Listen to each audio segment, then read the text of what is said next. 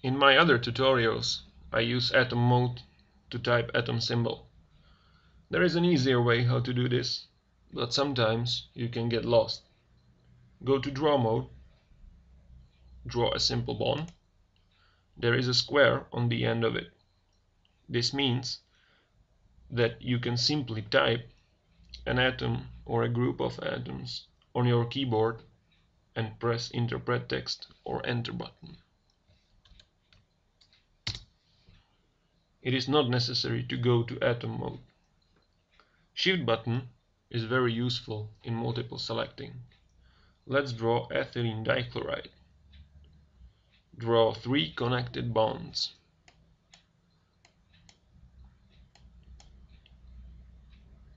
Press shift button in a draw mode and hold it.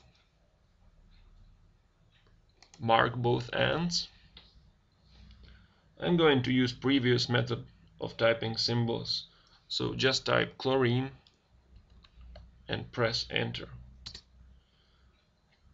Do this again with hydrocarbon groups or enable show symbol and hydrogens in the right click menu.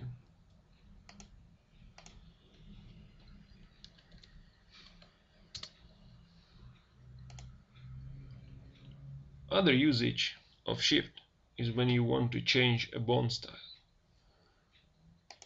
This is a simple bond. By clicking on it, you can change it into a double or a triple bond. By clicking on double bond with shift button held down means changing its style.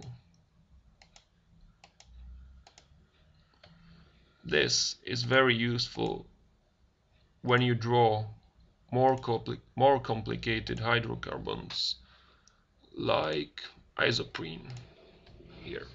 This is much better.